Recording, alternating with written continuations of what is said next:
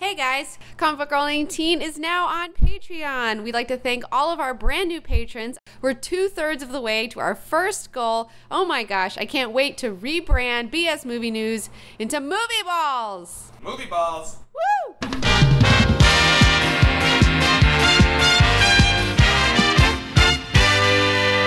Comic Corner on BS Movie News Live. Let's get started. Here it goes.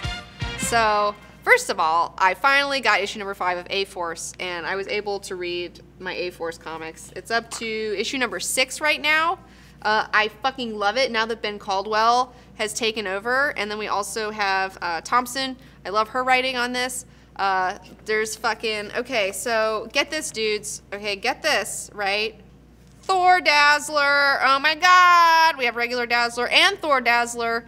Uh, and when Ben Caldwell picks it up, he gives uh, everybody a makeover. So Dazzler has a makeover. So now she's not wearing that stupid crap anymore. Her hair is like white and pink. The singularities happened. Okay, like fucking, I'm Dazzler essentially, uh, and that's the best.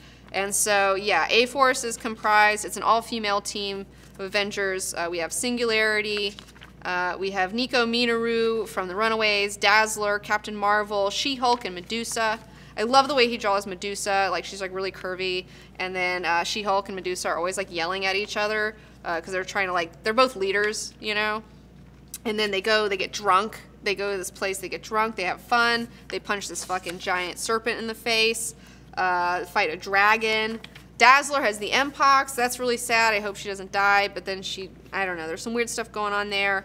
Uh, and then Hulk hulks out at this one. Oh my God, Hulk hulking out was like the best. Like, yeah, here we go. Like she she gets really giant. She's under mind control stuff, and so they're all like, oh. So yeah, A Force. Holy fuck, I really love A Force. This this is like written for me, man. Like I'm just digging on A Force. It's so much fun without being like. Because some of these comics I've been reading that are like more girl friendly, like they're a little too girl friendly, and I'm like, this is like too much. But like this is not too much. Okay, this is just fun and awesome, and I love A Force. Uh, fucking big ups. And okay, since you guys love Deadpool and Gambit, they're not my favorite characters, but Deadpool and Gambit, I saw this at the shop. Number one. Uh, I actually really liked this, like way more than I thought I would like this. I thought this was gonna be super dumb. Uh, but this is actually really a lot of fun.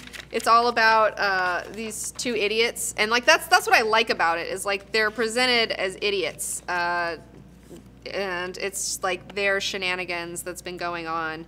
It has this whole big fight scene where Deadpool's pretending to be Spider-Man, and then uh, Gambit's pretending to be Daredevil, and they have this like big fight throughout the city in order to like steal some stuff. But then they get fucked over, and then the guy who fucked them over originally comes back, and he's like, in a, I don't know, there's like a whole thing going on. It's really funny, okay? Like this was actually like I was legitimately laughing at this one. So yeah, surprisingly, I loved Gambit versus Deadpool. So you guys should check it out if you're into that sort of business. Uh, we also have, uh, for ridiculous bullshit, Image Comics Grizzly Shark. It's about a shark that is in the woods that will eat you. Uh, it's like really graphic. like it's really cartoony and super dumb. Give me that cover again. Okay, this is like Grizzly Shark, super dumb. Okay, but if if I like sharks, I don't know. I'm an asshole. So uh, I'm gonna do yeah. They're supposed to be next month. Grizzly Shark returns instead of Jaws returns. That's pretty funny. And then there's also Grizzly Shark and and Sea Bear. Apparently, that, there's a sea bear that's a bear in the ocean. So uh, I guess they're gonna team up. This is just for fun. This is for kicks. If you're just bored. Uh, okay, then we also have Oh my god, so one of my favorite new Marvel fucking titles here. Jeff Lemire writing Moon Knight. Holy crap. Moon Knight was so good. I can't get over it. Okay, Moon Knight number two. I love Moon Knight number, or, oh man, look at that cover. This is second printing though. But uh, yeah, man, this Moon Knight is so good. Okay, so if you don't know shit about Moon Knight, then you're fucking missing out, dude. This is like he started off as a ripoff Batman, you know, in white, um, but he's evolved into so much more. Like now he's like this crazy person. Like he's like has mental problems, and uh, and so in this incarnation he wakes up, and he's in like a mental institution, and like everyone's saying you're not really Moon Knight. You're not like a real like you're just a crazy person, and they're giving him like shock therapy and stuff like that. Um, but he's on to them, and he thinks like he sees these other people in the institution that he knew from his Moon Knight days. Um, and so yeah, look, and he like fucking gets out on the roof, and then he like sees like all this crazy shit. So he thinks that like Set is like taking over, and he's got to figure it out. But you don't know. He's an unreliable narrator. Like you don't know if he's like a crazy person or not, which is like really cool. And the art is just like wow, like look at that. The doctor, her name is like Doctor Emmett, but he's like Amut, you know, like he's like no, you're really like associated with Amut, the the goddess of uh, judgment. And uh, yeah, so it's Khonshu's in it. You know, the Khonshu gave him his powers. He's an Egyptian god of the moon. Uh, that's Moon Knight gets his powers from Egyptian weird shit. Okay, so it's a lot. It's a lot of extraneous stuff here. Go on Wikipedia, find out who Moon Knight is, and go pick up Moon Knight. It's fucking awesome. I really highly recommend it. And then, holy shit, I've been reading from Image this book called Monstress. Okay, holy fucking shit. The art in this is like so. Look at this fucking cover, and like this is one of those comics where it looks just as good on the inside as it does on the outside. Okay, and that is not the case with a lot of comics. All right, like this. Okay, speaking of Akira, all right, this has definitely got some like Akira flavor, but instead of it's like high fantasy. It's not like neo Tokyo techno bullshit. This is like high fantasy stuff. It takes place in this fantasy world where you have humans, and you also have these uh, creatures called Arcanum which look like, you know, wolf people or winged people or devil people or whatever. And in the middle, you have this girl, uh, and she's like trying to figure out her past.